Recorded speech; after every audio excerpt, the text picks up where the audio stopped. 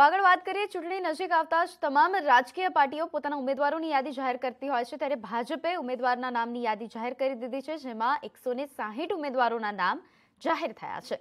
જેમાં અમદાવાદના ઘાટલોડિયા વિધાનસભા બેઠકની ટિકિટ મુખ્યમંત્રી ભૂપેન્દ્ર પટેલને આપવામાં આવી છે. જે બાદ મુખ્યમંત્રીનું ઘાટલોડિયામાં જોરશોરથી સ્વાગત કરવામાં આવ્યું. આ સાથે તેમને પીએમ સહિત ભાજપના તમામ દિગ્ગજ નેતાઓનો વિશ્વાસ મૂકવા બદલ આભાર પણ માન્યો હતો.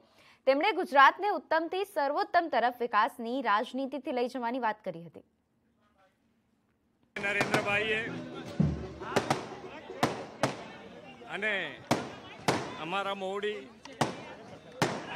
દરેક જણે માન્ય નડ્ડાજી, માન્ય અમિતભાઈ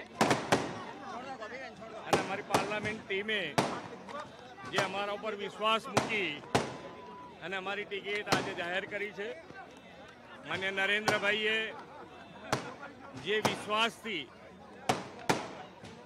ગુજરાતમાં વિકાસની જે રાજનીતિ અને રાજનીતિમાં હજુ પણ ઉત્તમમાંથી સર્વોત્તમ તરફ ગુજરાતને લઈ જવાની જે વિશ્વાસ અમારામાં મૂક્યો છે, એને વિકાસની રાજનીતિથી અમે આગળ વધારીશું. અને માન્ય નરેન્દ્રભાઈએ હર હંમેશ દરેકે દરેક જણની ભાગીદારી ગુજરાતમાં દરેકે દરેક વિકાસના કામમાં નાનામાં નાનો માણસ, છેવાડાનો માણસ કેવી રીતે સહભાગી થાય અને એ સહભાગીતાના આધારે જ્યારે આખું ગુજરાત બનાવ્યું છે અને દરેક જણને જનજનની અંદર દરેકને એમ લાગે છે કે આ ગુજરાત મેં બનાવ્યું છે, એ ભાવ સાથે આજે ગુજરાત આગળ વધી રહ્યું છે અને એ ગુજરાત જે લોકોનો જે અમારા પર વિશ્વાસ છે, ભરોસો છે, ભારતીય જનતા પાર્ટી ઉપર, એ ભરોસો કાયમ રહે. એના માટેનો હર હંમેશ અમારો વિકાસની રાજનીતિથી ભરોસો રહેશે.